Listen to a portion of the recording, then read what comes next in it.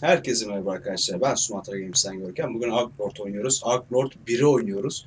Şu an piyasada olan Arklord 2 var sadece. E, Arklord 1 kapatıldı.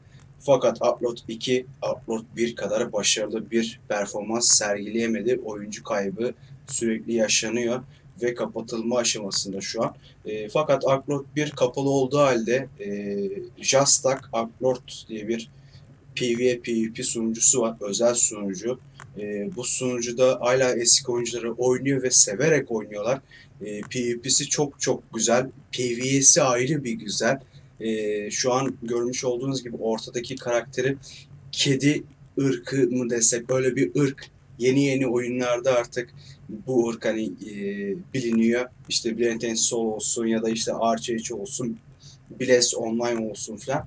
E, Black Desert'tır falan. Onlarda görebiliyorsunuz bu tarz karakteri ya da Terra'da falan. E, fakat Outlord'da seneler öncesi bu ırk vardı. E, klasları birbirinden güzel, gayet hoş bir ırk. E, elimdeki kılıçlar parlıyor. Bu parlamalar nedir? Oyun içerisine girince bakacağız. 20 leveliz. Level kasmak o kadar kolay ki yani bir level yaratık kesin 9 levele kadar atlayabilirsiniz ya da 10 levele kadar sizi atlatabiliyor. Hani sizi sıkmıyor zaten özel bir sunucu dediğim gibi. 20 levellik karakterle giriş yapacağım. Şöyle ırklardan bahsetmek istiyorum. Kedi ırkı var, insan ırkı var, ork var. Bir de yeni bir ırk gelmişti. Dragon bir şey bir şey ama ismini unuttum arkadaşlar. İki taraf var oyunda. E, bilginiz olsun. Düşman taraflar zaten belli oluyor. İnsanlı orklar düşman. E, kedile ork aynı yerde yanılmıyorsam. Tam olarak tarafları şimdi hatırlayamadım ama dediğim gibi iki taraftan oluşuyor. E, şimdi bu elimizdeki itemler neden parlıyor? Bunların başka renkleri var mı? Var. Şu an buz mavisi parlayabilir. Su elementini taktım. Oyunda element özellikleri, taşları var e, en ufak bir taşı bile taksanız hemen kılıcınız ya da işte silahınız neyse e, parlamaya başlıyor arkadaşlar. E, hangi elementi takarsanız ateş ise kırmızı tonda parlıyor, su ise mavi tonda parlıyor. E, onları sizlere göstereceğim. Nasıl basılıyor o taşlar? Zor mu, kolay mı? Hepsini size dile getireceğim. Rehber şeklinde bir video olacak. Ee, ben oyunu severek oynuyorum. Ana şehirlerden bir tanesine yakınız. Orada artı basmayı da göstereceğim arkadaşlar sizlere. Ee, şöyle karakteri biraz yakından göstereyim. Gayet hoş. Eski bir oyun olmasına rağmen atmosferi görüyorsunuz. Bende grafikler e, en üst seviyede. Şöyle biraz skill'lerini göstereceğim. Benim karakterim nedir? Benim karakterim kedi ırkında e, warrior sınıfı, savaşçı sınıfı, moon elf diye geçiyor bu kedi ırkı arkadaşlar. Bilginiz olsun. E, moon elf'in savaşçısını sizlere göstereceğim. Böyle yarım yamalak birkaç tane skillim var. Onları sizlere aktaracağım. Fakat önemli olan özellikle de savaşçı oynarken e, bir şeyi kesinleştirmeniz lazım e, defansif mi oynayacaksınız, ofansif mi yoksa atak üzerine e, bir karakter mi yapacaksınız? Çünkü şu an Moonelf e, savaşçısında öyle bir noktaya getiriyor ki sizi pasif skill'ler ya da işte normal atak skill'leri, buff'lar olsun. E, bir yönde odaklanmanız gerekiyor. Aksi takdirde ben ikisini de yürüteyim derseniz orada işte ipler kopuyor. Çünkü e, skill açma muhabbeti öyle direkt level atladığında açamıyorsunuz. Gidip para verip artı skill point verip açıyorsunuz. Skill point'i de level kastığınızda geliyor o skill point'ler. Onun sayesinde açıyorsunuz. Yani sınırlama var. O sınırlamayı güzel kullanmanız lazım. Öyle kafanıza esen skill'leri açmamanız lazım. Ee, bu savaşçı karakteri defansif olarak da oynayabiliyor ki gayet de güzel olur. Asas tarzı bir klas zaten. Çok seri. Ee, şimdi atak yapacağım. Göreceksiniz zaten ne kadar seri olduğunu. Ee, buff'ları var. Bir tanesi atak speed veriyor. Çift kılıç kullanabiliyor gördüğünüz gibi. İsterseniz tek el de kullanabilirsiniz. Fakat e, ben çift kılıç kullanacağım. Daha hızlı ataklar yapabiliyor ve damage'im artıyor. Bu bastığım buff nedir? Ee, hem parti hem kendime zırh veriyor. Artı atak gücü veriyor arkadaşlar. Ee, şimdi şöyle bir tane ufak bir skill göstereyim sizlere. Böyle rakibe vuruyor. Ee, rakibin hangi element özellikle olduğunu ismini böyle tıkladığınızda göreceksiniz. Kimisinde yok, kimisinde var. Ee, şöyle ulan biraz önce vardı bak. Neyse. Heh. Mesela saldırınca ortaya çıkıyor. Ee, elinizdeki silahlar çok çok önemli. Ateş elementini su ile vurduğunuzda daha güçlü vurabiliyorsunuz. Fakat benim elimdeki item, e, belli başlı itemler var. Onları göstereyim sizlere. Ee, elimdeki item bütün elementleri kapsıyor. Yani bu ne demek? Ateş, su, toprak, hava, buz, neyse, psişik, dark özellikle e, hepsini barındırıyor demek. All Elemental Attacks yazar zaten. Silahınıza geldiğinizde öyle yazıyorsa bilin ki bütün elementleri e, o silah vurabiliyor. Gayet güzel bir özellik. O özelliğin olması şart. Fakat taş basarken bir ipucu vereyim sizlere. O tarz itemlarda yani bütün elementleri vurabilen itemlarda e, su elementi şu Waiter Element Stone diye yazar. Bu elementi kullanın. Su ve havayı basın silahınıza. Çünkü e, o tarz itemlarda e, su ve hava elementi daha yüksek bir oranda vuruyor. Daha çok oranda vurabiliyorsunuz suyu ve havayı. O yüzden daha da etkili bir hale getirmek için su ve hava taşlarını basarsanız böyle görmüş olduğunuz gibi elinizdeki elimizdeki silahlar gibi parlar. E, ateş var, işte ne bileyim megiç taş var, e, pisişik var, işte e, bütün elementleri barındıran bir taş var. E, kimileri zırhlara basılıyor, kimileri sadece silahlara, kimileri sadece kalkanlara basılıyor. Kalkan da kullanabiliyorsunuz arkadaşlar. Savaşçı klası kullanabiliyor sadece bunları. E, insan ırkı ve ork ırkındaki. Bilginiz olsun. Yüzükler aynı şekilde. Yüzüklere dikkat edin. Stat puanlarını siz vermiyorsunuz ama itemler size stat puanı veriyor. O stat puanlarını karaktere ilk girdiğinizde burada statlarda hangisi yüksekse bilin ki onlar sizin ana statlarınızdır. Ve ana sta- statlara yakın ya da aynılarını e, kullanmaya çalışın item olarak. E, bu taş önemli değil. Bu event taşı. Dün etkinlik vardı. Şu an var mı bilmiyorum. Şurada artı basma potion'u var. Bu pot önemli. Yaratıklardan çıkabiliyor. Ben bu potu nasıl elde edeceğim falan diye düşünmeyin. Her türlü yaratık keserek kasabilirsiniz. Ee, şöyle bir atak daha göstereyim. Böyle hızlı hızlı bıçaklar saplıyor, kılıçlar saplıyor. Ee, drop çok çok fazla çıkıyor. Skill efektleri gayet güzel. Bunlar ilk level skill'leri. Ee, daha da yüksek skill'lerimiz olacak. K tuşuna bastığında zaten göreceksin orada buff'larımız falan var. Pasiflerimiz var. Bu pasifler o kadar karışık ki pasifler bir o kadar da önemli. İleride kombolar açılacak. İşte e, kahramanlık seviyesi skill'lerimiz falan açılacak. Bunlar e, çok çok önemli. Şu an 3 tane skill point'imiz varmış. Sizlere onları da göstereceğim. Nasıl açılıyor falan. Fakat bir tane taş eklemek istiyorum. Şimdi silahların üstüne geldiğinizde turuncu renkte olanlar çok çok önemli itemler arkadaşlar. Hatta daha sonra mor renkte yazılı olanlar falan çıkacak. Ee, onlar daha da önemli olacak. Zaten onlara baktığınızda göreceksiniz yani. Cidden hem güçlü olacaktır hem özellikleri güzel olacaktır. Ee, bayağı bir belli olacak yani göreceksiniz çok rahat bir şekilde. Artı silahınıza geldiğinizde isminin yanında işte 5 bölü 5 yazıyor. Ee, normalde 0 bölü 5 yazıyordu bu çıktığında. Mesela sağ tarafta Dark Dagger'a baktığımızda 0 bölü 1 yazar. Fakat taş ekleme sayısıdır o 0 bölü 1. Ee, yani demektir ki bir tane taş ekleyebiliyoruz. Ee, 6 tane ekleyebilirsiniz, 5 tane ekleyebilirsiniz. Artık item kalitesi ne kadar güzelse o kadar taş ekleyebiliyorsunuz arkadaşlar. Aynı şekilde üstünüzdeki zırhları da ekleyebiliyorsunuz, kalkanları da ekleyebiliyorsunuz taşlar. Şimdi ben sizlere şöyle bir tane silah ekleyeceğim. Ateş ekleyeceğim. Ee, bunun üstüne geldiğimizde hiçbir elemental özelliği olmadığını görüyoruz. Sadece atak range'inin olduğunu görüyoruz. Ee, fakat şöyle taşı silahın üstüne envanterinizdeyken yapıyorsunuz bu olayı. Böyle taşı sürükleyip bıraktığınızda yes dedikten sonra ve direkt işleniyor arkadaşlar.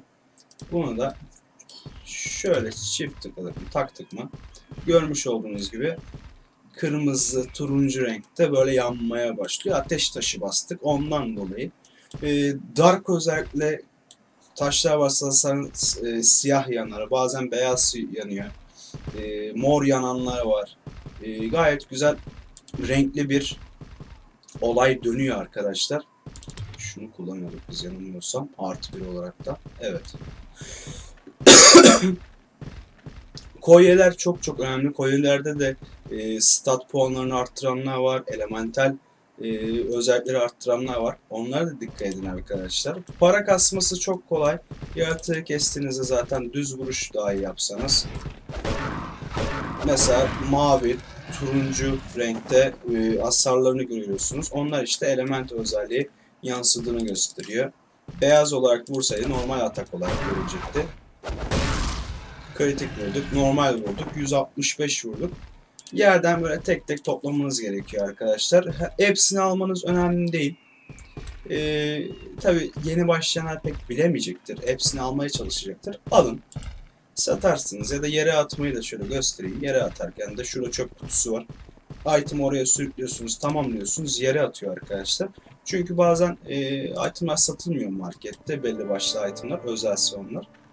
Ondan dolayı sıkıntı yaşayabilirsiniz. Artı karakterinizi e, oyuna girerken fazla bir seçenek yok. Ama oyun içerisinde karakterinizi tekrardan düzenleyebiliyorsunuz. Saç rengini ya da işte ne bileyim e, vücut ten rengini falan hepsini ayarlayabiliyorsunuz. Şimdi skill nasıl açacağım? Tabii benim bulunduğum şehirde biraz muhabbet farklı, değişik yerlerde olacaktır. Fakat her şehirde karakterinize ait, klasınıza ait bir NPC olacaktır. Benimki zaten C'ye bastığında Moon Elf Warrior yazar. Warrior zırhçısı burada. Buradan zırh alabilirsiniz. Fakat gerek yok. E, çünkü droplar çok çok fazla. Burada eğitimcisi var, savaşçı eğitim. Buradan skill açıyorsunuz. Skill açmayı göstereyim. Geliştirebilirsiniz. Hem para alıyor sizden hem de skill point alıyor. Biraz işte o yüzden mantıklı düşünmeniz lazım. Hepsini açabilirsiniz. Bir seviye olarak bırakın yeni başlayanlar için. Ee, ya da okuyarak açın. Bu, bu skill işte ne bileyim stunlıyor, can veriyor, defans veriyor diyerekten okuyaraktan açın arkadaşlar. Pasifler önemli. Pasifleri mutlaka kararlaştırın. Ee, ona göre açmaya çalışın. Kombolar zaten 50 levelden sonra açılıyor. Görmüş olduğunuz gibi. Bunlar da 200 puan falan biriktirerek açılıyor. Fakat bunları açmayı bilmiyorum. Ee, kahramanlık olayını. Bunlar büyük bir ihtimal PvP'de falan puan kasıyorsak oralardan kazanabiliyoruzdur. Tahminimce. Ee, silah ya da item nasıl satacağız? Merkantlar var. Her şehirde olduğu gibi. Niye tıklanmadı? Bug'a girmiş olabilir. Çünkü aşağıdan oyun indiriyorum. Büyük ihtimal bug'a girdi ya da oyun geriye atacak falan. Merkantlardan arkadaşlar e, satabilirsiniz. E, artı basmayı da göstereyim. Artı basma Blacksmith'ler var. Bildiğimiz Blacksmith diye yazıyor. E, böyle turuncu şeylere geldiğinizde bakabilirsiniz. Böyle tek tek bakın üstüne gelip Blacksmith neredeyse e, oradan açacaksınız arkadaşlar. Guild açabilirsiniz. Bak Guild e, Manager varmış. Oradan gidip açabiliyorsunuz. Şöyle Blacksmith'e bakmaya çalışıyorum. Ee, şu Safekeeper'dan Safekeeper önemli. Sunucuna attı. Ee, oyuna tekrardan gireceğim müsaadenizle.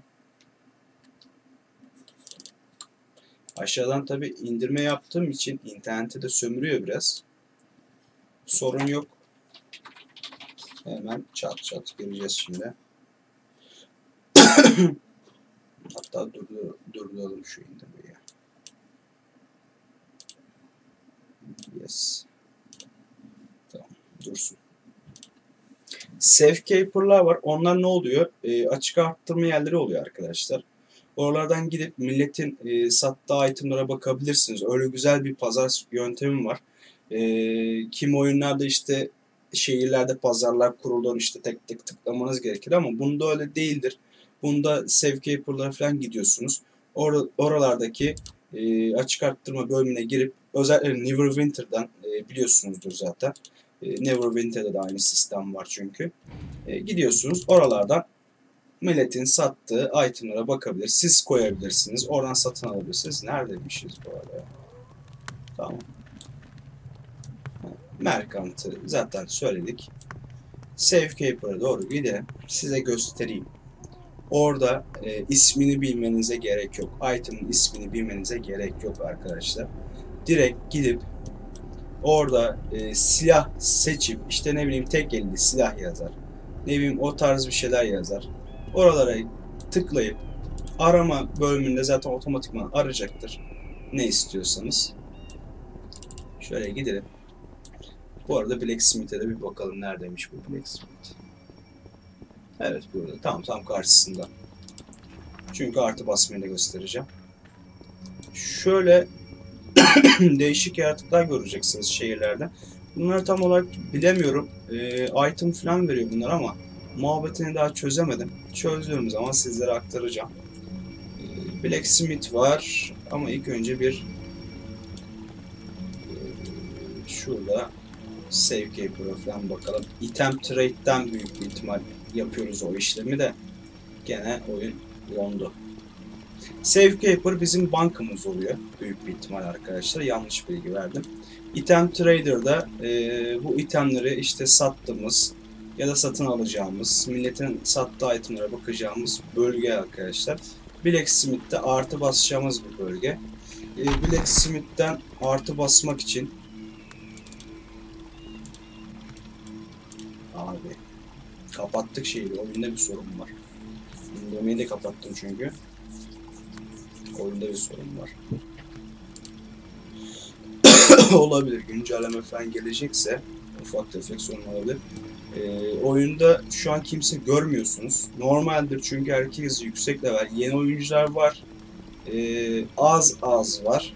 Böyle sürekli yeni bir oyuncu göremezsiniz. Fakat gene de benim bulunduğum 20 levellik haritalarda falan bulabilirsiniz o oyuncuları. Blacksmith'ten şu item'ı koyuyorsunuz arkadaşlar. Bu item'ı koyduktan sonra e, potu koyduktan sonra şunu e, silahı da koyuyorsunuz ve o pot sayesinde basıyorsunuz. Para da alıyor sizden. Bilginiz olsun. E, hani sadece potu almıyor. Artı para da alıyor. Artı 11'e kadar gidiyor yanılmıyorsam. Ee, bayağı bir artı basma sistemi var. Yanma olayı vardı. E, fakat bu sunucuda falan var mı bilmiyorum. E, o yüzden dikkatli olun. E, şu an gösteremiyorum sizlere. Oyun dondu çünkü. Büyük bir ihtimal gene atacaktır. Sorun yok. Sizlere e, aktardım zaten aktaracağımı. Şuralarda bir bakalım buralarda ne varmış. Buralarda önemli şeyler yok. Evet. Mesela bir oyuncu geldi. 35 vermiş. 35 liralık elemanın üstündekiler bunlar. Kanat falan kullanabiliyor. Bu insan ırkı. Yanılmıyor isem. Sizin de böyle petleriniz olacak. Petler falan alabileceksiniz arkadaşlar. Ee, evet. insan mage'i. Bu mage arkadaşlar. Şu an niye göstermiyor? Heh. Büyücüler güzel. Alan etkili skill'leri var. E, fakat oynaması zor. PvP'de biraz geride kalmanız gerekiyor çünkü. Heh, gösterebiliyoruz. Aynen. Burası Safekeeper bizim bankamız. Item Trader bizim itemleri satıp alabileceğimiz bir bölüm. Mesela şöyle bir bakalım. Görmüş olduğunuz gibi bu item özel. Mor renkte zaten yazısı. Ee, artı 7'si var. Kaç paraya satılıyor? 10 milyona satılıyor. Ee, 8 tane taş ekleyebiliyormuş. Yani bütün taşları adam basmış neredeyse. Gayet de güzel. kaç levellik? Bir bakalım 11 levellik. 11 levellik item bu kadar paraya satılıyor diyeceksiniz. Evet satılıyor arkadaşlar çünkü özel item bunlar. 47 levellik var. 92 levellik var. Yok ama 92'lik var mı cidden? Var. Hey. Artı 6-8 tane taş. Bir dakika hangisindeydi? Burada zaten resimlerini gösteriyor. Yine böyle bir takıldı oyun. Yani anlayacağınız buralardan eşyalar, potlar, ne bileyim işte artı basma potları bile var arkadaşlar. Buradan pot alabilirsiniz mesela. Ee, illa hani yaratıktan düşürmenize gerek yok. Burada satılıyor ama pahalıya satılıyor. Onu söyleyeyim yani bayağı bir pahalı. Normalde bulun abi. Bulması kolay öyle şey değil. Bir yarım saat, bir saat aynı yerde takılın elbet çıkacaktır. Bende iki tane var. Satayım? Ne yapayım? Anlamadım ki. Bilginiz olsun. Bu kadar arkadaşlar. Yani anlatacak bir şey yok. Oyun bu. Oyun güzel. Ee, yayın esnasında oynayacağız. Yayın esnasında sizler de eşlik edebilir, takip edebilirsiniz nasıl bir oyun olduğunu. Eski bir oyun. Ee, sizi hani ikna edemem bu oyuna gelin oynayın diye. Ama bilgisayarı düşük düzeyde olan arkadaşlar bence oynamalı. Ee, MMORPG'lerden güzel MMORPG'lerden bir tanesi. Ee, bilgisayarınız özellikle cidden dandikse çok rahat bir şekilde oynayabilirsiniz bunu. Ee, Game Guard sorunu yaşayabilirsiniz. Game Guard sorununu bana sormayın. İnternette bir sürü şeyi var. Onu oradan bir zahmet bakın. Çünkü arkadaşım Game Guard sorunu yaşıyor ve ona yardımcı olamadım. İnternetteki şeyleri yaptığımız halde işe yaramadı. O yüzden hani bir fikrim yok. Ee, lütfen hani sorunları sormayın. Hataları sormayın. İnternetten araştırın. Ee, oyun bu arkadaşlar. Umarım hoşunuza gitmiştir. Kendinize iyi bakın. Görüşürüz. Hoşçakalın. İyi günler.